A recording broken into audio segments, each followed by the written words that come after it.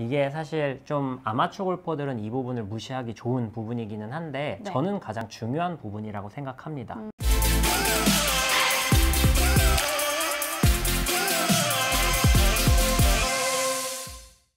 보고서 따라하면 머리 올릴 수 있는 보따리 프로젝트. 안녕하세요, 배우리 프로. 골린이 조팀장입니다. 네, 오늘은 유틸리티에 대한 기준을 좀 잡아볼 거예요. 네. 우리가 요즘에 좀 거리가 늘기 시작하면서 네. 내가 클럽마다 얼마 나가는지 잘 모르잖아요. 그래서 네. 오늘은 유틸리티를 쳐서 얼마나 거리가 나가는지 네. 그리고 유틸리티가 주로 어떤 방향으로 가는지를 파악을 해서 네. 코스에 나가거나 혹은 스크린을 칠 때 어디를 공략해야 되는지에 대한 부분을 배워보도록 하겠습니다. 아, 네, 알겠습니다. 음. 어, 그래도 생각보다 잘 맞추네요. 아, 그리고? 나름 일관성이 있어요 지금.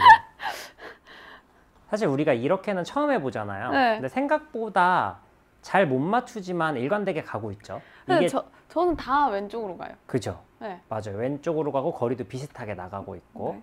아마추어 골퍼들이 사실 본인들은 일관성이 없다고 생각하는데 생각보다 일관성이 있어요. 네.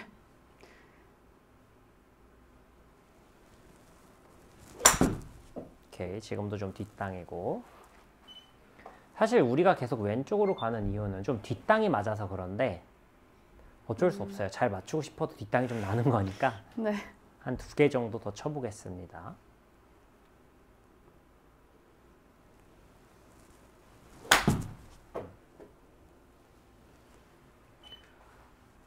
확실히 몇 개 안 맞으니까 다시 손에 힘이 엄청 들어가네요. 네. 잘 맞추려고.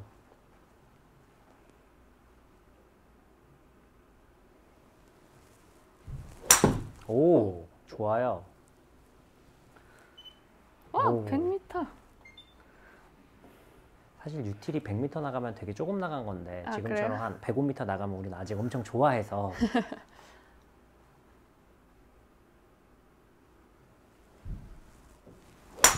음, 지금도 나쁘지 않고 한 3개만 더 쳐볼게요.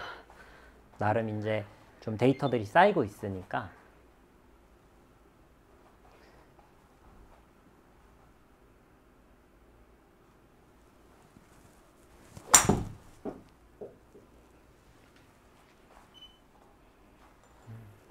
처음으로 똑바로 갔는데 거리가 90m가 나갔네요.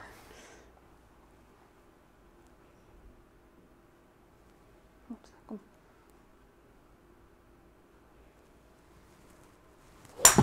오, 좋아요. 굉장히 굿샷이고.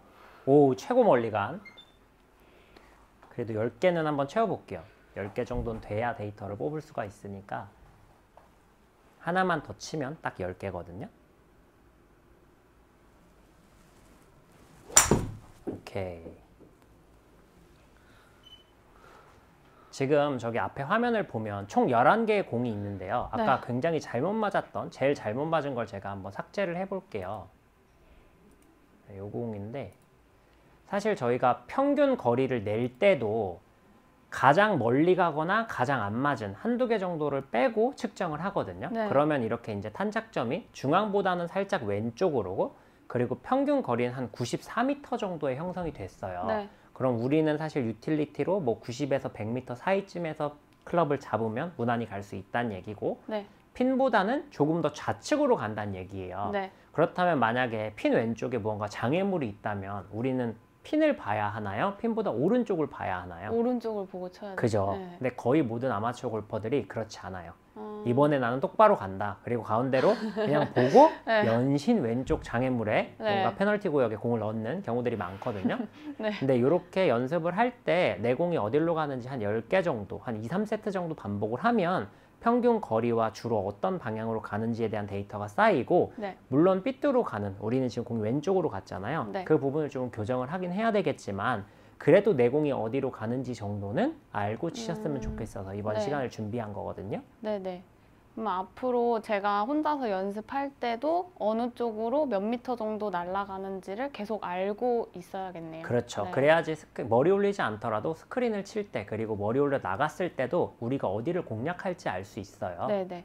이게 사실 좀 아마추어 골퍼들은 이 부분을 무시하기 좋은 부분이기는 한데 네. 저는 가장 중요한 부분이라고 생각합니다. 음. 예를 들어서 우리가 뭐 어떤 계획을 세울 때도 뭐 시간이나 혹은 비용에 대한 계획을 세우는 것처럼 네. 내가 공을 쳤을 때 대략 어디로 갈지 정도는 알고 해야 뭘 벙커나 혹은 해저드가 있으면 피하거나 이런 부분들을 할 수가 있는데 네. 많은 골퍼들이 그렇지 않아요. 이번에는 무조건 똑바로 갈 거다. 아. 잘 맞을 거다라고 생각을 네. 하고 무조건 직진으로만 가거든요. 음, 네. 그렇게 하게 되면 더 어려운 골프를 하실 수밖에 없으니까 네. 이런 연습을 통해서 좀 내 공에 파악을 해보셨으면 좋겠습니다. 음, 네.